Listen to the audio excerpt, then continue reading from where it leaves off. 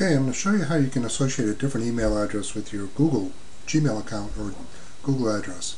It's really pretty easy to do and you can use it interchangeably to sign in and out of Google. So first you want to go to google.com and you want to click on sign in. And what you need to do is sign in with your existing Gmail account. As I'm going to do right here.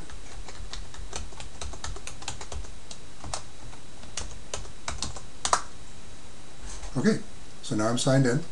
And what I want to do is go to my account.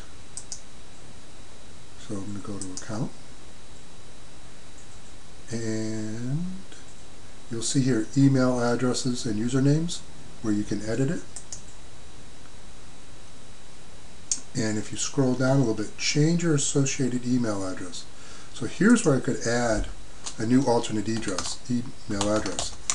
And I can in this case because that's already associated with another email address, but if I wanted to use ecamo at writertech.com as an alternative email address for my Gmail account, I can do it if it was available. It's not. You just click on save and now you can interchangeably use your work email address with your Gmail account when you're signing in and out of things. It does make things a lot easier. So I uh, hope this helps you out.